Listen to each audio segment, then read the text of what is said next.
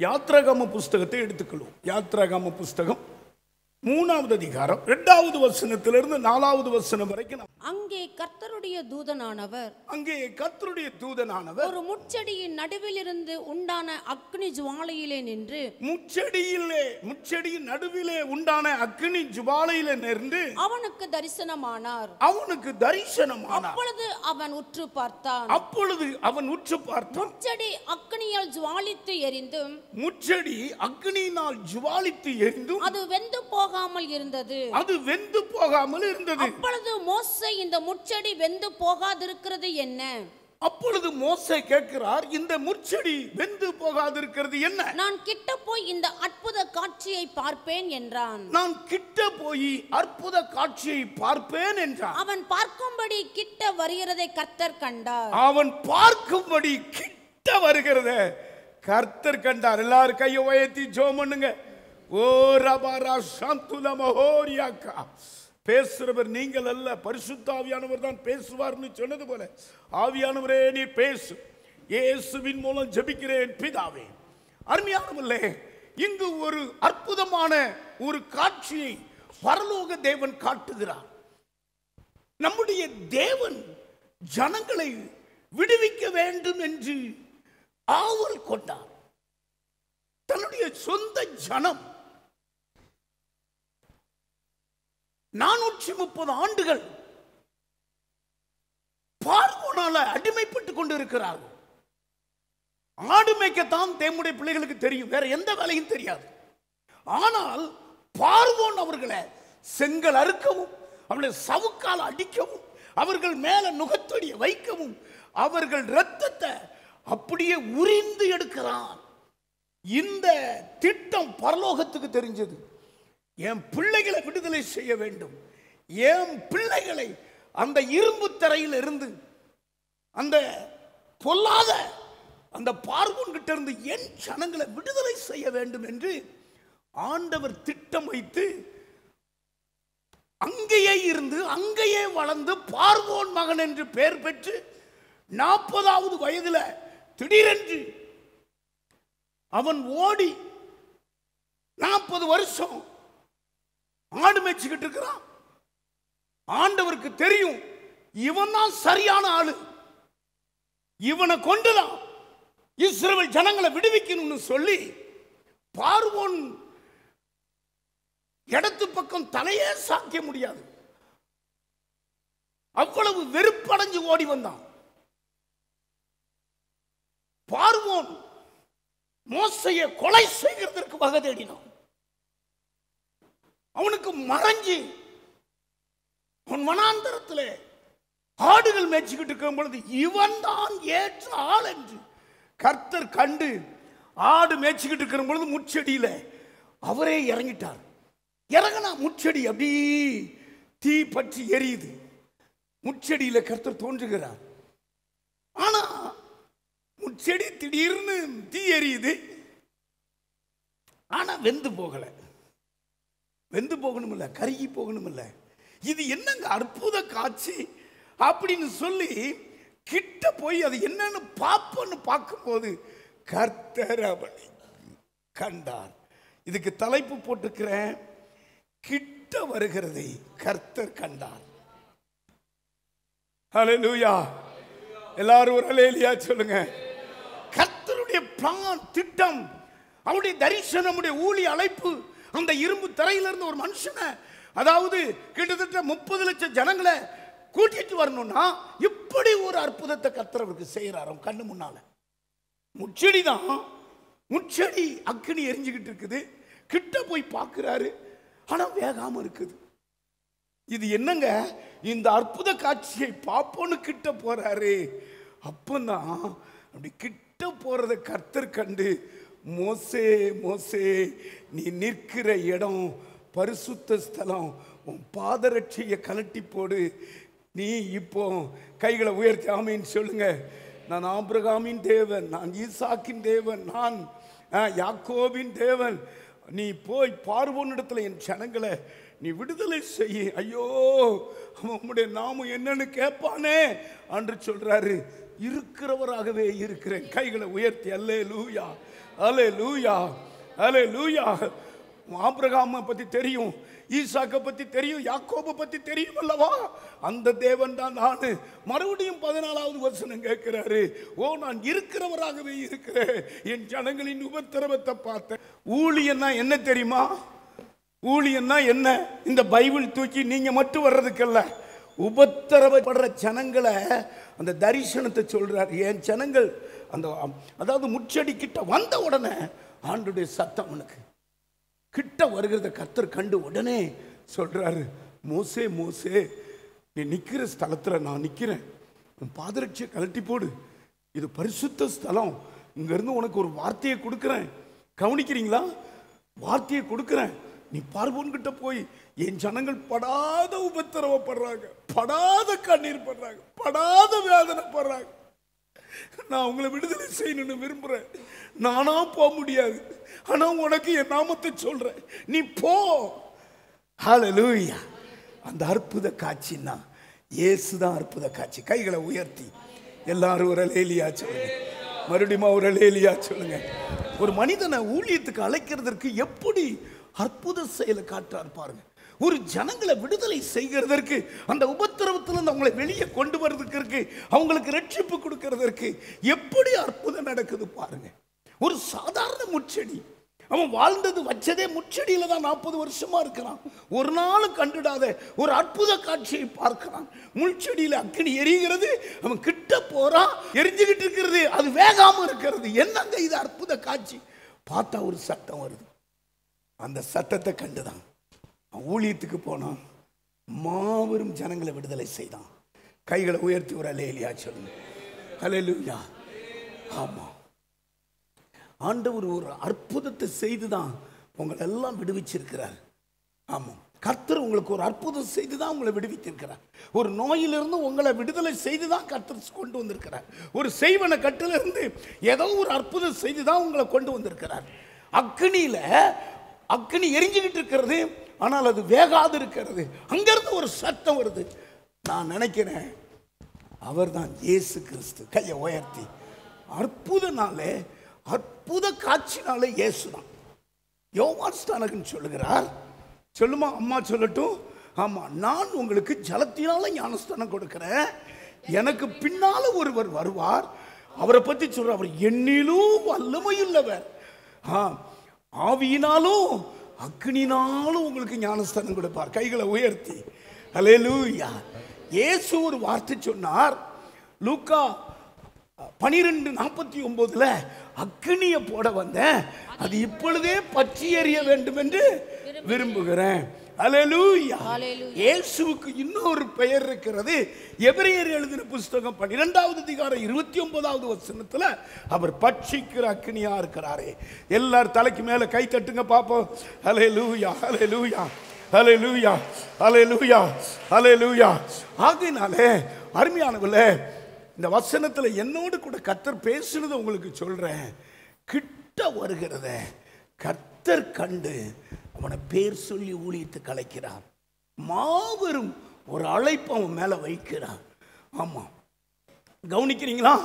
அற்புதம் செய்கிற இயேசுகிட்ட வரும்போதெல்லாம் கர்த்தர் உங்களை உயர்த்தி தான் வைப்பார் ஆமாம் கர்த்தர்கிட்ட வந்தவனுக்கெல்லாம் கர்த்தர் ஒரு ப்ரமோஷனை கொடுத்து தான் வைப்பார். நான் ஒரு சாதாரண ஆளாக இருந்தேன். ஒரு விளக்கம் தெரியாது ஒன்றும் தெரியாது. கர்த்தர்கிட்ட வர வர கர்த்தர் கிருபைகளை தாரார் கைகளை உயர்த்தி. கிட்ட வருகிறத கர்த்தர் கண்டாராமா? கையை உயர்த்தி ஆமேன்னு சொல்லுங்க. நீங்கள் அடிக்கடி உங்களுக்கு வேலை பழுவு இருக்கு. ஆனால் நீங்கள் ஆண்டவர் கிட்ட வர்றதில்லை. எத்தனையோ நாள் கிட்ட வராமல் இருக்கீங்க. எத்தனையோ நாள் வந்தோம் போனோம் தூங்கணும்னுக்கிட்டு இருக்கீங்க. ஆண்டவர் ஒருவர் எதிர்பார்த்துக்கிட்டு இருக்கிறார். என் பிள்ளை கிட்ட வராதா? என் பிள்ளை கிட்ட வராதா? நான் அந்த பிள்ளைக்கு தரிசனம் கொடுக்க போகிறேன் நான் என் பிள்ளைக்கு ஊழிய தரிசனம் கொடுக்க போகிறேன் கிட்ட வருகிறத ஆண்டவர் எதிர்பார்த்துக்கிட்டே இருக்கிறார். கையை உயர்த்தி. அலே லூயா எல்லாரும் ஒரு அலேலியா சொல்லுங்க. மறுபடியும் ஒரு அலேலியா சொல்லுங்க. ஹalleluya ஆமா அந்த காலையில நீங்க கிட்ட வரணும். இந்த அற்புத காட்சியை பார்க்க அற்புதனாவே இயேசுதான். இயேசுவை பார்க்க கிட்ட வரணும். இயேசு கிட்ட நெருங்கணும். அத்தனை ஜனங்களையும் ஒரு சொல்லால எல்லாரையும் விடுதலை செய்தார் பாருங்க. ஆமா. ஆண்டவர் கிட்ட வர வர வர வர ஒரு மாபெரும் அற்புதம் உங்களுக்கு நடந்துக்கிட்டே இருக்கும். இன்னைக்கு நடந்த மாதிரி இல்லை. நாளைக்கு ஒரு வித்தியாசமாக இருக்கு. அது உங்களுக்கு தெரியாது. அலலூயா ஆமா. கிட்ட நீங்க வரணும் அருமையானவர்களே. ஆண்டவராகிய இயேசு கிறிஸ்து தூர நிற்கிற தெய்வம் அல்ல. அவருடைய ஊழியத்தை பார்த்தீங்கன்னா பாரம்பரிய கட்ட உடைச்ச ஆண்டவர். செத்தவனை தொடக்கூடாது. ஏழு நாளாக பாளையத்துக்கு வெளியே இருக்கணும். அவன் உள்ளே வரக்கூடாது. தீட்டு. இயேசு கிறிஸ்து பிரசங்கம் பண்ணும் பொழுது ஆமாம் நாயினூர்னு அந்த ஊர் பேர் அங்கே ஒரே விதவை வாலிப பையன் மறிச்சிட்டான். வெகு ஜனங்கள் வர்றாங்க. அழுதுகிட்டே இருக்கிறாங்க. ஆனால் கிட்ட போகலை. ஆனால் வேதன் சொல்லுகிறது அவர் மனதுருகி கிட்ட வந்து பாடையை தொட்டார். கையை தட்டுங்க பார்ப்போம் லூக்கா ஏழாவது அதிகாரம். பதினாலாவது வருஷம் கிட்ட வந்து பாடையை தொட்டார். இயேசு கிறிஸ்து பாருங்க அவர் கிட்ட வரும்போதெல்லாம் ஒரு அற்புதம் நடக்கும். கிட்ட வரும்போதெல்லாம் வாலிபன் செத்து கிடக்குறான். இன்னும் ஒரு இருபது அடியில் அவனை புதைக்க போறாங்க. குழி கிளி எல்லாம் ரெடி ஆயிடுச்சு. ஆனால் ஆண்டவர் பாருங்க அந்த பாரம்பரிய கட்டை உடைச்சு கிட்ட வரும் பொழுது கிட்ட வந்தது மாத்திரமல்ல அவனை தொட்டார். கிட்ட வந்து தொட்டார். அன்னைக்கு கிட்ட வந்து மரண கட்ட மாற்றின ஆண்டவர் இன்னைக்கு காலையில் கூட உங்க கிட்ட அங்க இங்க வந்து உங்களை தொடத்தான் போறார். ஏதோ நீங்க ஒரு கட்டில் இருக்கீங்க. ஆமா லூயா ஒரு மனுஷன் எரிகோவுல இருந்து இருந்து எரிகோவுக்கு போறான். கல்லர் கையில மாட்டிக்கிட்டான். ஆசாரியன் பார்த்து பக்கமா விலகி போனான். லேவியன் பார்த்து பக்கமா விலகி போனான். ஆனா சமாரியன் இயேசுவை குறித்து எழுதியிருக்கிறது அவர் பார்த்து மனதுருகி கிட்ட வந்து கிட்ட வந்து காயங்கள் காயங்களை எண்ணெயும் முப்பத்தி நாலு முப்பத்தி நாலு கிட்ட வந்து கிட்ட வந்து அவனுடைய காயங்களில் எண்ணெயும் தலைக்கு மேல கை தட்டுங்க பார்ப்போம் அவர் தான் இயேசு. நமக்கு ஏன்டா இந்த வேதனை? நமக்கு ஏன் இந்த விசாரணை? அப்படின்னு அவர் மற்றவனை போல போகல. அதனாலதே எப்போ விடியும்? எப்போ அதிகாலை வரும்னு நீங்க வந்திருக்கீங்க? அந்த தேவன் கிட்ட வந்து நம்முடைய காயங்களை ஆற்றுகிறவர். கையை உயர்த்தி ஒரு லேலியா சொல்லுங்க. மறுபடியும் ஒரு லேலியா சொல்லுங்க. ஹalleluya இது போலீஸ் கேஸ் ஆகும். ஏன்னா கள்ளர் கையில் ஆகப்பட்டிருக்கிறான் நீ தான் அவனை அவனுடைய பணத்தை இப்போ அப்படித்தான் நடக்கு. நமக்கு எதுக்குங்க? ஒரு பையன் நேற்று ராத்திரி மெட்ரோ ட்ரெயினில் அந்த பொண்ணு அவ அப்பா ஆட்டோ ஓட்டுறாராம். அந்த பொண்ணு வாசல்கிட்ட வரும்பொழுது வரும் பொழுது அப்பா வந்துட்டீங்களா? அப்படின்னு சொல்லிக்கிட்டு இருக்கும்போது பிளாட்பாரத்தில் இருக்கிறவன் ஃபோனை பறிச்சுட்டு ஓடிட்டான். அந்த பிள்ளை தடுமாடி உளுந்து ஒன்றரை மணி நேரமா யாரும் பாதுகாக்கலை. அவன் அண்ணன் சொல்கிறான் எங்கள் தங்கச்சியை அனாதையாக ஒன்றரை மணி நேரம் ரத்தம் கை ரத்தமே போய் தான் அவன் செத்தான். அப்படிங்கிறான். அந்த அன்பு இல்லை. அந்த உதவி செய்கிற நோக்கம் இப்போ வர வர ஜனங்கள் மேலே இல்லை. யாருக்கு இருக்கோ இல்லையோ இயேசு கிறிஸ்துவுக்கு இருக்கிறது. உன் கிட்ட வந்து அவருடைய காயங்களை உனக்கு கட்டுவார். இன்னொரு கூட கூட நான் சொல்ல முடியும். பேதர் வீட்டுக்கு போகிறார் அங்கேயும் அவர் மார்க் எழுதின புஸ்தகம் ஒன்றாவது அதிகாரம் முப்பத்தி ஓராவது வசனத்தை நீங்கள் பார்த்தா அந்த நாட்களில் ஜுரத்தில் எல்லாம் செத்துருவாங்க. ஜுரம்னு எழுதியிருக்கிறது. இன்னைக்கு சொன்ன மாதிரி கொரோனா மாதிரி எனக்கு அப்போ வந்ததெல்லாம் விஷச்சுரம் வேதம் சொல்லுகிறது அவர் கிட்ட வந்து அந்த பேதுரு மாமியை தொட்டார்? முப்பத்தோராவது வசனம் மார்க் கிட்ட போய் அவர் கிட்ட போய் அவள் கையை பிடித்து அவள் கையை பிடிச்சு அவளை தூக்கி விட்டார் அவள் தூக்கி விட்டார் உடனே ஜூரம் நீங்கி உடனே ஜுரம் நீங்கி விட்டு நீங்கிட்டு என்ன நான் சொல்றேன்னா நம்முடைய இயேசுவினுடைய குணம் என்ன? நம்முடைய இயேசுவினுடைய குணம் அவர் கிட்ட வந்து ஜனங்களை தொடுகிறவர் மரிச்சவனை தொடுகிறவர் காயத்தோடு இருக்கிற குற்றூராய் கிடக்கிறவனை தொடுகிறவர். ஜுரம் ஆமா பரவுகிற ஜுரம் தொட்டா எல்லா பக்கமும் கடுஞ்சுரம்னு எழுதியிருக்கிறது. ஆனால் அதை கூட ஆண்டவர் கிட்ட வந்து சுகம் கொடுத்த ஆண்டவர் உன்னை பார்த்து கேட்கிறார். அன்றைக்கு மோசே கிட்ட வந்ததை நான் கண்டேன்கிறார். கையை உயர்த்தி கையை தட்டுங்க பார்ப்போம் எல்லாரும் கை தட்டுங்க. ஹாலே லூயா ஹாலே லூயா ஹாலே லூயா ஹாலே லூயா ஹாலே லூயா கிட்ட வர வர அருமையான மகனே மகளே இந்த கால வேலையில இந்த வார்த்தை என்ன? நீ கிட்ட வரணும். ஆண்டவர் விரும்புகிறார். தூரம் தூரம் தூரமாய் நிற்காத ஆலயத்துக்கு வரும்போது கூட கிட்ட வந்து மொத பெஞ்சில உட்கார பார்க்கணும். ஆமாம் எட்டி நின்றுட்டு அப்படி ரெண்டு வார்த்தை கேட்டு அப்படி போனால் ஏன்னா கர்த்தரும் உன்னை அவங்களை ஆசீர்வதிக்கிறதுக்கு ஏனா தானே நான் இருவேன் அந்த ஆர்வம் தாக வரணும். எங்கள் எங்கள் சர்ச்சிலலாம் பாய் தான் போட்டிருந்தாங்க. ஜோசப்னு ஒரு பின்னா இருப்பார் ரிக்ஷா வண்டி ஓட்டுறவர். அதுக்கு அடுத்து நான் தான் இருப்பேன். அலையலூயா யாருக்கும் என் இடத்த கொடுக்கவே மாட்டேன். கிட்ட. அதான் பார்த்தாரு. இவனுக்கு ஒன்றுமே தெரிய மாட்டேங்கு ஊழியத்தில் பயன்படுத்தலாம்னு நினச்சிட்டார். கையை உயர்த்தி. அலையலூயா நீங்கள் ஆண்டவர்கிட்ட வர வர வர. அற்புதங்கள் நடக்கும். ஆமே நாமன் சொல்லுங்க. ஆண்டவர்கிட்ட வர வர உங்க வியாதிகள் குணமாகும். ஆமா. கிட்ட வர வர பாவத்திலிருந்து விடுதலை வந்துடும் கிட்ட வர வர யதார்த்தமா வாங்கின கடன் பிரச்சனை விடுதலை வந்துடும் கிட்ட வர வர ஆமா. நீங்கள் எதிர்பார்த்திருக்கிற சமாதானத்தை கத்தர் உங்களுக்கு தருவார்.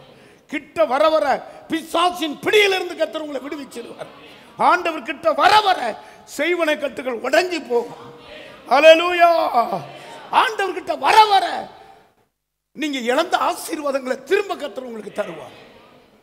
ஆண்டவர்கிட்ட வர வர வர கிருபைகளால இறக்கங்களால் உங்களை முடிசூட்டுவார் ஆண்டவர்கிட்ட நெருங்க நெருங்க. ஹalleluya அவருடைய ஆசீர்வாதம் பரிபூர்ணமாய் உங்களுக்கு கிடைக்கும். ஹலலூயா இன்னைக்கு என் கிட்ட வரமாட்டியா?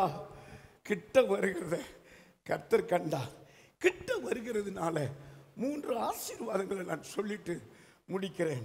நீ தேவனுடைய கிட்ட வர வர வர வர இந்த தேவனை நீ உலகத்துக்கே வெளிப்படுத்தலாம். கர்த்தரே தேவன் என்று நீ அறிவிக்கிறதற்கு நீ கிட்ட வரணும். அதாவது கிட்ட வரும்போதெல்லாம் என்ன நடக்குன்னா ஜீவனுள்ள தேவன் கர்த்தர் தான் ஜீவனுள்ள தேவன் என்பதை நீயும் நானும் நிரூபிக்க முடியும். கையை உயர்த்தி. எல்லாரும் ஒரு அலேலியா சொல்லுங்க.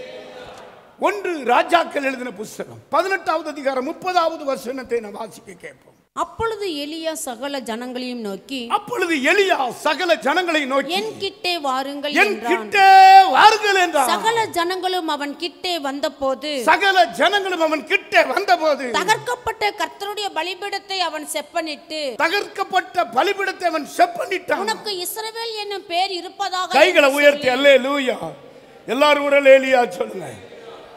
முப்பத்தி ஒன்பதாவது வசனம் சார் வாசிக்க கேட்போம். ஜனங்கள் எல்லாரும் ஜனங்கள் எல்லாரும் இதை கண்டபோது இதை கண்டபோது முகங்குப்புற விழுந்து முகம் கொப்புற விழுந்து கர்த்தரே தெய்வம் கர்த்தரே தெய்வம். கர்த்தரே தெய்வம் என்றார்கள். இப்பவும் நீங்க தலைக்கு மேல கை தட்டுங்களேன் சொல்லுங்க சொல்லுங்க கர்த்தரே தெய்வம். கிட்ட வர வர கர்த்தர் தான் தெய்வம் என்று இந்த உலகத்துக்கு நீங்க சொல்ல முடியும் தாராளமா. என்ன நடந்ததுன்னா கவனிங்க ஏழு வருடங்கள் வானம் அடைக்கப்பட்டது. பஞ்சம் மிக கொடிதாக இருந்தது. இப்படி ஒரு பஞ்சம் கண்டதே கிடையாது. காரணம் என்ன? இயேசபேல் தேவனுடைய ஆலயங்களை இடிக்கிறான்.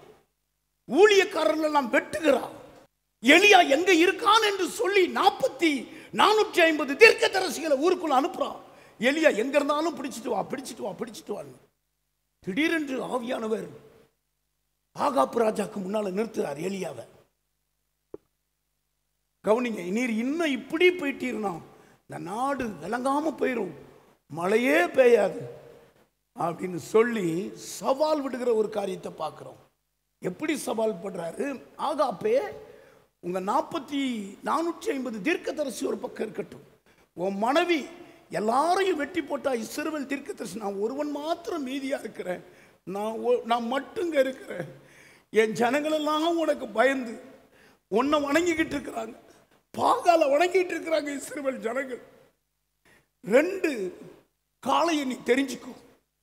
ஒன்று நீ ஃபஸ்ட்டு அநேகராக இருக்கிறதுனால நீ ஒரு காளையை பலிபிடம் கட்டி அதை நீ பழி செலுத்து. நோக்கம் அந்த நெருப்பு போடக்கூடாது. அந்த நெருப்பு வானத்திலிருந்து வந்த அந்த பழியை பட்சித்துட்டா. நானே சாஷ்டாங்கமாக விழுந்து பாகாலை நான் வணங்குறேன். இல்லை என்றால் நான் ஒரு காளைய பலிபீடம் கட்டி அந்த காளையை நான் பழி செலுத்தும் பொழுது வானத்திலிருந்து அக்கினி இறங்கும். அதுதான் தெய்வம். சவால் விடுகிறார். இங்க கவுனிங்க. ஆகாப்பு அதுக்கு ரெடி ஆகிட்டாரு ஓஹோ சரி சரி. ஆகாப்பும் ஆகாப்பும் மனைவி ஒத்துக்கிட்டாங்க. இப்போ ஒரு காளைய பாகாலின் தீர்க்கதரிசி நானூற்றி ஐம்பது பேர் வெட்டி கூப்பிட்டுக்கிட்டு இருக்காங்க. கூப்பிடுறாங்க கூப்பிடுறாங்க கூப்பிடுறாங்க. ஒரு சத்தமும் இல்லை. விடிய விடிய கூப்பிடுறாங்க. இருபத்தி ஆறாவது வசன வாசிமா. தங்களுக்கு கொடுக்கப்பட்ட காளையை அவர்கள் வாங்கி அதை ஆயத்தம் பண்ணி பாகாலே எங்களுக்கு உத்தரவு அருளும் என்று காலை தொடங்கி மத்தியானம் மட்டும் பாகாலே நாமத்தை சொல்லி கூப்பிட்டார்கள். ஆனாலும் ஒரு சத்தமும் பிறக்கவில்லை. ஒரு சத்தமும் இல்ல. மறு உத்தரவு கொடுப்பாரும் இல்லை. மறு உத்தரவு கொடுப்பாரும் இல்ல. அவர்கள் கட்டின பலிபீடத்திற்கு எதிரே குதித்து ஆடினார்கள். குடித்து குதித்து ஆடினார்கள். மத்தியான வேளையிலே எலியா அவர்களை பரியாசம் பண்ணி கவனிங்க கிட்ட வரும்போதெல்லாம் நான் மறுபடியும் சொல்கிறேன் இப்போ பார்த்துக்கிட்டு இருக்காரு அங்கே ஒன்றும் நடக்கலை. அந்த பலிபீடத்துக்கு முன்னால் குதிக்கிறாங்க ரத்தத்தை ஊத்துறாங்க ஒன்றும் சத்தம் போடலை. ஆமாம் பக்கத்தில் பா சத்தம் போடாது சொல்லுங்களேன். கிரியை செய்யாது. மூக்கு இருந்தும் முகராது. ஆ, கண்ணு இருந்தும் காது இருந்தும் உண்மை! நிரூபிச்சார் பாருங்க நிரூபிச்சாரு எலியா. உனக்கு நேரம் முடிஞ்சிட்டு இப்போ ஏன் நேரம்? ஒன்றும் சவால் விட்டதில்லை. இப்போ வந்த உடனே அதே மாதிரி ஒரு காளையை வெட்டி அங்கே பழி செலுத்திக்கிட்டு இருக்கிற பொழுது வேதம் சொல்லுகிறது என் கிட்ட வாருங்கன்னு இப்படி கூப்பிடுறதுக்குள்ள அக்னி வானத்திலிருந்து இறங்கி அந்த பழியை பட்சித்தது. இதை எல்லாரும் பார்த்த ஜனங்கள் எல்லாம் ஆகாப்பு கிட்ட நின்ற இஸ்ரேல் ஜனங்கள்லாம் திரும்ப வந்து எளியா முன்னால் விழுந்து ஒரு சத்தம் கொடுக்குறாங்க. கர்த்தர் தான் தெய்வம் கர்த்தர் தான் தெய்வம் கர்த்தர் தான் தெய்வம். இப்படி ஏறெடுத்து பார்த்து இப்போ சொல்லிட்டாரு எளியாவே பாகால் தீர்க்கதரிசி ஒருதனை விட அதெல்லாம் வெட்டு அப்படின்ட்டாரு.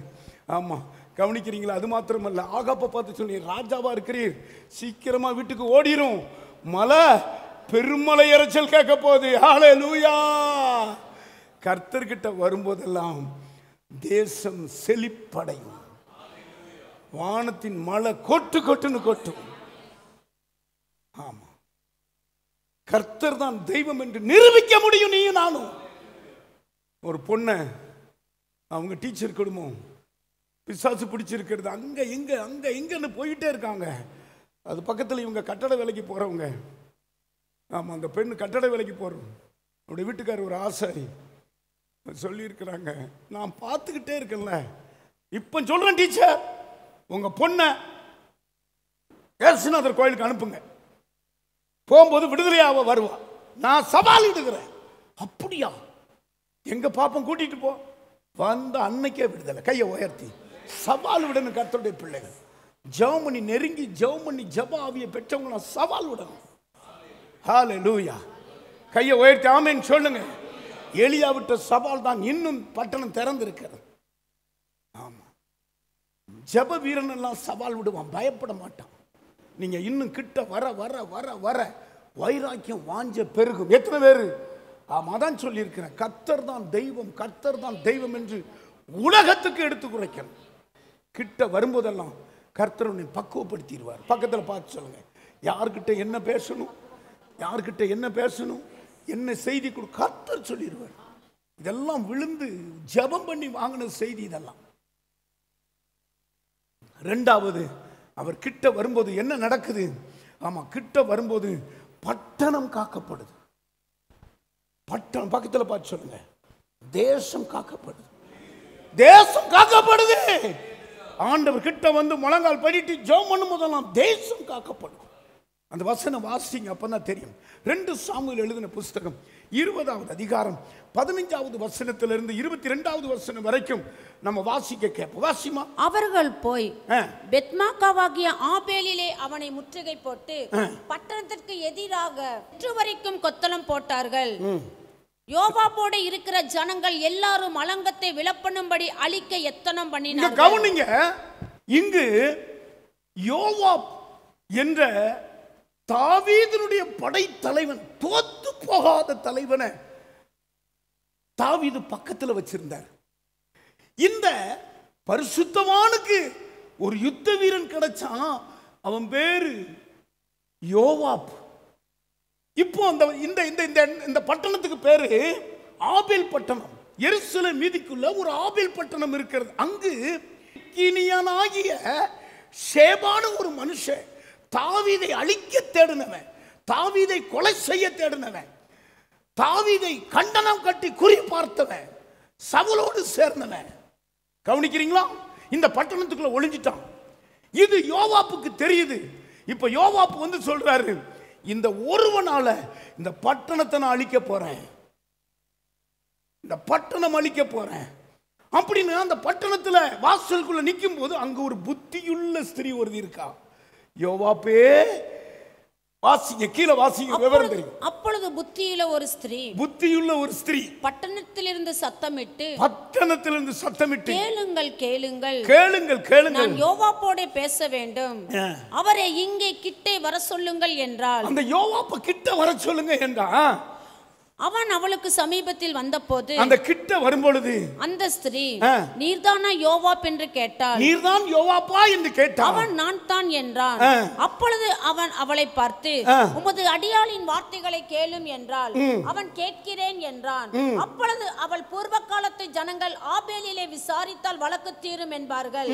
இஸ்ரவேலிலே நான் சமாதானமும் உண்மையும் உள்ளவளாய் இருக்கையில் நான் இஸ்ரவேலிலே சமாதானமா இருக்க உண்மையுள்ளவனாய் இருக்கையில் நீர் இஸ்ரவேலிலே தாய் பட்டணமாய் இருக்கிறதை. நிர்மூலமாக்க பார்க்கிறீரோ? தாய் பட்டணமாய் இருக்கிற ஆபேல் பட்டணத்தை நிர்மூலமாக்க பார்க்கிறீரோ? நீர் கர்த்தருடைய சுதந்திரத்தை விழுங்க வேண்டியது என்ன என்றார் கர்த்தருடைய சுதந்திரத்தை விழுங்க வேண்டியது என்ன? யோவா பிரதியுத்தரமாக யோவாப் அந்த புத்தியுள்ள ஸ்திரீக்கு சொல்லுகிறார் விழுங்க. வேண்டும் அழிக்க வேண்டும். ஐயோ நான் விழுங்க வேண்டும் அழிக்க வேண்டும் என்கிற ஆசை எனக்கு வெகு தூரமாய் இருப்பதாக. ஒரு நாளும் ஆபேல் பட்டணத்தை நான் அழிக்க மாட்டேன். அந்த ஆசை எனக்கு கிடையாது. காரியம் அப்படியல்ல காரியம் அப்படி அல்ல. பிக்கிரியின் குமாரனாகிய சேபா என்னும் பேருள்ள எப்ராஹிம் பர்வதத்தானாய் இருக்கிற? பிக்கிரியின் குமாரனாகிய ஷேபா என்னும் ஒரு மனுஷன். ஒரு மனுஷன். ராஜாவாகிய தாவீதுக்கு விரோதமாய் தன் கையை ஓங்கினான். அவனை மாத்திரம் ஒப்புக் கொடுங்கள். அப்பொழுது பட்டணத்தை விட்டு போவேன் என்றான். இங்க கவனிங்க சொல்றாரு. இந்த ஒரு மனுஷனுக்காக இந்த பட்டணத்தை நான் இப்ப அழிக்க போறேன். அந்த புத்தியுள்ள ஸ்திரீ சொல்றா ஐயோ இந்த பட்டணம் சமாதான பட்டணம் அல்லவா?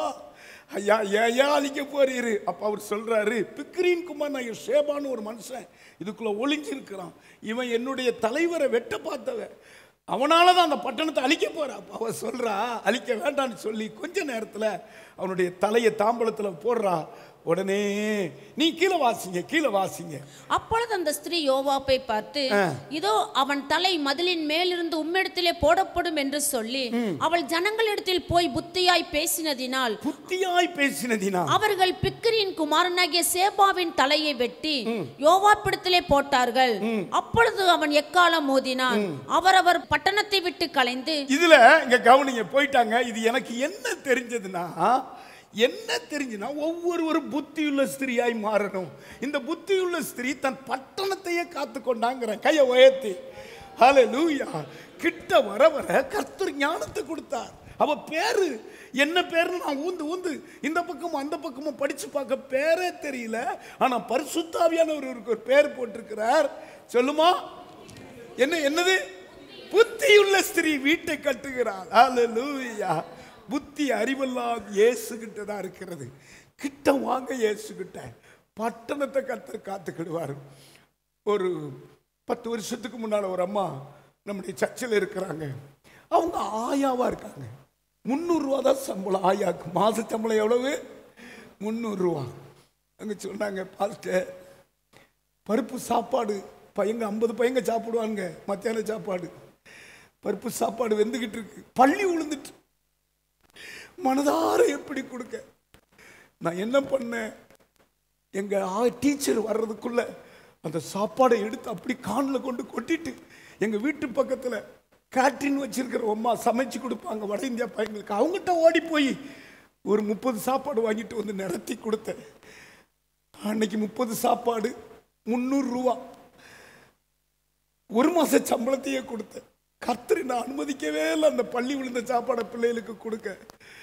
நான் சொன்னேன் நம் கர்த்தருடைய பிள்ளைகளம்மா நம்ம தான் பட்டணத்தை காக்கிறோம். நம்ம தான் ஜனங்களை காக்கிறோம். கைகளை உயர்த்தி இன்னும் அந்த அம்மா ஆயம்மா எங்கள் பக்கத்தில் தான் இருக்கிறாங்க. கையை உயர்த்தி ஒரு அலையிலையா சொல்லுங்க. மாதமே முந்நூறுரூவா தான். இவங்க ஆ- விரவு போட்டு பூ பூன்னு ஊதிக்கிற அழுத்தத்தை பாருங்க. ஜெபிக்கிறவங்களுக்கு பாருங்க. மேலே சண்டை போட்டுக்கிட்டு இருந்த பள்ளி திடீர்னு விழுந்துட்டேன். இது எப்படி நான் பிள்ளைகளுக்கு கொடுக்க? எடுத்து போட்டு கொடுக்க அப்போ உளுந்தது உங்கள் முன்னாலே உளுந்து. ஸ்மார்ட்ல எடுத்துட்டாங்க. இருந்தாலும் அதுல பிள்ளைகளுக்கு ஏதாவது ஆயிருமே. அந்த டீச்சர் வர்றதுக்குள்ள செஞ்சுருக்கிறார். என்கிட்ட சொன்னாங்க. நான் சொல்றேன் நம்ம ஒவ்வொருவரையும் பட்டணத்தை காக்க ஜனங்களை காக்க. கர்த்தர் நம்மளை தெரிஞ்சிருக்கிறார். அலே லூயா அலே லூயா அலே லூயா ஆமா. கிட்ட வரும்போதெல்லாம் இப்படி பட்டணத்தை காக்கக்கூடிய ஒரு பட்டணத்தை அழிவிலிருந்து காக்கக்கூடிய ஒரு திறமையை நமக்கு தருகிறார். ஸ்தோத்திரம். ஆபேல் பட்டணம் காக்கப்பட்டதுக்கு அந்த புத்தியுள்ள ஸ்திரீ தான் இயேசுவை போல காக்க முடியாது. மூன்றாவது ஒன்று சொல்லிட்டு முடிக்கிறேன். கிட்ட வரும்போதெல்லாம் ஏழு மடங்கு ஆசீர்வாதத்தை உங்கள் மேலே தாரார். ஈசாக்குக்கு கண்ணு தெரியாமல் போச்சு வயசான காலத்தில். அவருக்கு ஒரு ஆசை. பிள்ளைகள் கையினால ருசியுள்ள சாப்பாடு சாப்பிடணும்னு ஆசை. இப்போது இது சொன்ன உடனே சொன்னது யாருக்கிட்ட சொல்கிறாரு ஏசா கிட்ட. ருசி உள்ள சாப்பாடை ரெபேக்கா சாப்பிச்சு கொடுத்துட்டான். கொடுத்தோன்னா கொண்டு வர்றாரு இவர். அப்பா நீ கேட்டிங்களா? கொண்டு வந்துட்டேன். இவர் சொல்கிறாரு கிட்ட வா மகனே உன்னை ஆசீர்வதிக்கிறேன். வாசிங்க. ஆதியாகம புஸ்தகம் இருபத்தி ஏழாவது அதிகாரம் இருபத்தி அஞ்சாவது வசனத்திலிருந்து இருபத்தி ஒன்பதாவது வசனம் அப்பொழுது அவன் அப்பொழுது அவன் என் குமாரனே என் குமாரனே நீ வேட்டையாடி கொண்டு வந்ததை நீ வேட்டையாடி கொண்டு வந்தது நான் புசித்து நான் புசித்து என் ஆத்துமா என் ஆத்துமா உன்னை ஆசீர்வதிக்கும்படி உன்னை ஆசீர்வதிக்கும் அதை கிட்ட கொண்டு வா என்றான். என் கிட்டே கொண்டு வா என்றான். அவன் அதை கிட்ட கொண்டு போனான். அப்பொழுது அவன் புசித்தான். பிற்பாடு திராட்சரசம் அவனுக்கு கொண்டு வந்து கொடுத்தான். அவன் குடித்தான். அப்பொழுது அவன் தகப்பனாகிய ஈசாக்கு ஈசாக்கு அவனை நோக்கி அவனை நோக்கி, என் மகனே என் மகனே, நீ கிட்ட வந்து நீ கிட்ட வந்து என்னை முத்தம் செய் என்னை முத்தம். என்றான். அவன் கிட்ட போய் கிட்ட அவனை முத்தம் செய்தான். அப்பொழுது அவனுடைய வஸ்திரங்களின் வாசனையை மோந்து. இதோ என் குமாரனுடைய வாசனை கத்தர் ஆசீர்வதித்த வயல்வெளியின் வாசனையை போல் இருக்கிறது. இங்க பாருங்க ஏழு ஆசீர்வாதம் எல்லாரும் சேர்ந்து படிங்க. அதாவது யாக்கோபு மேல ஈசாக்கு போட்ட ஆசீர்வாதம் ஏழு இருக்கிறது. முதலாவது அவர் சொல்றாரு தேவன் உனக்கு வானத்து பனியையும் பனியை பனி வானத்தின் பனினால உன்னை ஆசீர்வதிப்பார். பூமியின் கொழுமையையும் கொடுத்து பூமியின் கொழுமையை கொடுத்து உன்னை ஆசீர்வதிப்பார். மிகுந்த தானியத்தையும் மிகுந்த தானியத்தை கொடுத்து ஆசீர்வதிப்பார். திராட்சரசத்தையும் தந்தருள்வாராக. திராட்சை ரசங்களை கொடுத்து ஆசீர்வதிப்பார். ஜனங்கள் உன்னை சேவிக்கவும் ஜனங்களை உன்னை சேதிக்கும் சேதிக்கும் ஜாதிகள் உன்னை வணங்கவும் கடவர்கள். ஜாதிகள் உன்னை வணங்கவும் கடவார்கள். உன் சகோதரருக்கு எஜமானனாய் இருப்பாய். ஹalleluya! தாயின் பிள்ளைகள் உன்னை உன் தாயின் பிள்ளைகள் உன்னை வணங்குவார்கள். எல்லாரும் எந்திரிச்சு நெல்லுங்க. இப்படி இதுக்கு பேர் ஏழு ஆசீர்வாதம் எழுதி வச்சிருக்கேன் என் பைபிள்ல. இந்த பூரண ஆசீர்வாதத்தை பெற்ற பெறுகிறதற்கு ஈசாக்கு அழைக்கிறார். என் மகனே என் கிட்ட வந்து எனக்கு ஒரு முத்தம் கொடு. முதல்ல என் கிட்ட வா. ஓ ஹalleluya. ஆண்டவர் கிட்ட வாங்க. பூரண ஆசீர்வாதம். உங்களுக்கு தெரியுமா? ஆமா. இயேசு கிறிஸ்து யாரு? சொல்லுங்க. சொல்லு அஞ்சலி. ஏசு கிறிஸ்துவ எதற்கு பூமிக்கு அனுப்பினார்? பொல்லாங்குயிலிருந்து நம்மளெல்லாம் விலக்கி ஆசீர்வதிக்கும்படி தம்முடைய குமாரனாகி இயேசுவை அனுப்பினார். கையை உயர்த்தி. இயேசுவால தான் ஆசீர்வாதம். தலையில கை வைங்கப்பா. இயேசு என்றால் சாபத்தை நீக்கிறவர் அந்த வசனத்தை படிக்க கேட்போம். அவர் உங்கள் எல்லாரையும் அவர் உங்கள் எல்லாரையும் உங்கள் பொல்லாங்குகளிலிருந்து விலக்கி பொல்லாங்குகளிலிருந்து விலக்கி உங்களை ஆசீர்வதிக்கும்படி உங்களை ஆசீர்வதிக்கும் தேவன் தம்முடைய பிள்ளையாகிய இயேசுவை எழுப்பி இயேசுவை எழுப்பி முதலாவது உங்களிடத்திற்கே அவரை அனுப்பினார் இப்ப இப்ப கண்ணை திறந்து பாருங்க. இப்ப தலையில கை வச்சு. என்னை ஆசீர்வதிக்க இயேசுவை அனுப்புனீங்களே. என்னை ஆசீர்வதிங்க. என்னை ஆசீர்வதிங்க இயேசுவே. ஏழு ஆசீர்வாதம் பூரணமாக என் மேலே இறங்கட்டும். அன்றொரு நாள் ஈசாக்கு ஓ யாக்கோவை ஆசீர்வதித்தது போல. யாக்கோ அந்தவரே யாக்கோபு ஈசாக்கு கிட்ட வந்தான் நான் உங்க கிட்ட வர்றப்பா. என்னை ஆசீர்வதிங்க ஆண்டவர். எல்லா தலையில் கை வச்சு ஜோம் பண்ணுங்க. கிட்ட வருகிறதுனால மூணு காரியம் உலகத்திற்கு கர்த்தர் தான் தெய்வம் என்று நீங்கள் அறிவிக்க கிட்ட வாங்க. ரெண்டாவது பட்டணங்களை அழிவிலிருந்து காக்க நீங்க கிட்ட வாங்க. மூன்றாவது ஏழு ஆசீர்வாதங்களை பெற நீங்கள் கிட்ட வாங்க. ஆண்டோட வல்லமை ஆண்டோட ரத்தம் உங்க மேல படுகிறது. எல்லாரும் கைகளை தட்டுங்க. சாபம் விலகிறது பாவம் விலகிறது வியாதி விலகிறது வறுமை விலகிறது. ஹalleluya சமாதான குலைச்சல் விலகிறது டிப்ரெஷன் விலகிறது. ஒரு பூரண ஆசீர்வாதம். அருமையானவர்களே நல்ல கவனிங்க. உங்க திறமையில ஆசீர்வதிக்க ஆசீர்வாதமா இருக்க முடியாது. பொய்யும் பித்தலாட்டம் பண்ணி ஆசீர்வாதமா இருக்க முடியாது. அது எந்த வழியில வருதோ அந்த வழியில ஓடிரும். ஆனால் கர்த்தர் கொடுக்கிற ஆசீர்வாதம் தான். அது நித்திய ஆசீர்வாதம். அது வியாதி இல்லாத ஆசீர்வாதம். அது பரலோக ஆசீர்வாதம் என்றென்றும் நிலைத்து இருக்கிற அந்த ஆசீர்வாதம் பிள்ளைகளுக்கும் சந்ததிக்கும் புரோஜனமா இருக்கும். கையை உயர்த்துங்க. டிவி நிகழ்ச்சிகள் நமது சபையின் மூலம் பொள்ளாச்சி முழுவதும் இருபத்தி நான்கு மணி நேரமும் ஜேகிங் டிவி ஒளிபரப்பப்படுகிறது. விகே செட்டப் பாக்ஸில் நூற்றி பன்னிரெண்டாவது சேனலிலும் டிசிசிஎல் செட்டப் பாக்ஸில் நூற்றி ஐம்பத்தி ரெண்டாவது சேனலிலும் எஸ்சிவி செட்டப் பாக்ஸில் இருநூற்றி பதினேழாவது சேனலிலும் டாக்ஸ் செட்டப் பாக்ஸில் அறுபத்தி இரண்டாவது சேனலிலும் நமது சபையின் பாடல்கள் ஆராதனைகள் செய்திகள் ஒளிபரப்பப்படுகிறது. அனுப்புவே என் பாத்திரம் நிரம்பி வழிந்திட உமாவியை நிரப்புமே. தமிழ்நாடு முழுவதும் பைபிள் டிவியில் தினமும் மாலை ஆறு முப்பது மணிக்கும் பெனியல் டிவியில் தினமும் காலை ஏழு முப்பது மணிக்கும் நமது சபையின் நிகழ்ச்சிகள் ஒளிபரப்பப்படுகிறது. இந்த டிவி ஊழியங்களின் மூலம் ஆயிரக்கணக்கான ஜனங்கள் ஆசிர்வதிக்கப்பட செபித்துக் கொள்ளுங்கள். அன்பார்ந்தவர்களே ஒவ்வொரு ஞாயிற்றுக்கிழமையும் ஏராளமான ஜனங்கள் நமது ஆலயத்திற்கு வந்து விடுதலை சுகம் ஆசிர்வாதம் மற்றும் சமாதானம் பெற்று செல்கின்றனர். நமது சபையின் ஆராதனை நேரங்கள். ஒவ்வொரு ஞாயிற்றுக்கிழமை தோறும் முதலாம் ஆராதனை அதிகாலை ஐந்து மணிக்கும் இரண்டாம் ஆராதனை காலை ஏழு மணிக்கும் மூன்றாம் ஆராதனை காலை ஒன்பது மணிக்கும் நான்காம் ஆராதனை மாலை ஆறு முப்பது மணிக்கும் நடைபெறும். முதல் மூன்று ஆராதனைகளையும் நீங்கள் நேரடியாக சபையின் யூடியூப் வலைதளத்தில் உள்ள ஐபிஎச்எச் கிணத்துக்கடவு சேனலில் உலகத்தின் அனைத்து பகுதிகளிலும் இருந்து பார்த்து பயனடையலாம். சிறுவர்களுக்கான ஓய்வு நாள் பள்ளி முதலாம் ஆராதனையில் காலை ஆறு மணிக்கும் இரண்டாம் ஆராதனையில் காலை எட்டு மணிக்கும் மூன்றாம் ஆராதனையில் காலை பத்து மணிக்கும் நடைபெறும். வாலிபர் கூடுகை. ஒவ்வொரு மாதமும் முதல் ஞாயிற்றுக்கிழமை அன்று காலை ஒன்பது மணிக்கு வாலிபர்களுக்கான விசேஷித்த கூடுகை நடைபெறும். எண்ணெய் பூசி சுகமளிக்கும் வாக்குத்தத்த ஆராதனை. ஒவ்வொரு மாதத்தின் முதலாம் தேதி அதிகாலை ஐந்து மணிக்கும் காலை பத்து மணிக்கும் நடைபெறும் கட்டுகளை அவிழ்க்கும் உபவாச ஜெபம். ஒவ்வொரு மாதமும் மூன்றாம் வெள்ளிக்கிழமை காலை பத்து மணிக்கு நடைபெறும். இதில் ஒவ்வொருவருக்காக தனிப்பட்ட முறையில் பிரார்த்தனை ஏறெடுக்கப்படும். விடுதலை உபவாச ஜெபம். ஒவ்வொரு மாதமும் கடைசி சனிக்கிழமை அன்று காலை பத்து மணிக்கு நம் தேசத்திற்காக பாரத்தோடு ஜெபங்கள் ஏறெடுக்கப்படும். ஒவ்வொரு வியாழக்கிழமை தோறும் ஆண்களுக்கான ஜெப கூடுகை புதிய ஆலயத்திலும் பெண்களுக்கான ஜப கூடுகை பழைய ஆலயத்திலும் மாலை ஏழு மணிக்கு நடைபெறும். ஒவ்வொரு புதன்கிழமை அன்றும் வாலிப சகோதரர்களுக்கான ஜெப கூடுகை மாலை ஏழு மணிக்கு நடைபெறும். ஒவ்வொரு ஞாயிற்றுக்கிழமை அன்று வாலிப சகோதரிகளுக்கான ஜெப கூடுகை மாலை ஐந்து மணிக்கு ஜூம் மீட்டிங்கில் நடைபெறும். நமது சபையில் தினமும் காலை பத்து மணி முதல் இரண்டு மணி வரை சபைக்காகவும் தேசத்திற்காகவும் ஜெபங்கள் ஏறெடுக்கப்படும். இக்கூட்டங்களில் கலந்து கொண்டு தேவ ஆசிர்வாதம் பெற யாவரையும் அன்புடன் அழைக்கிறோம்.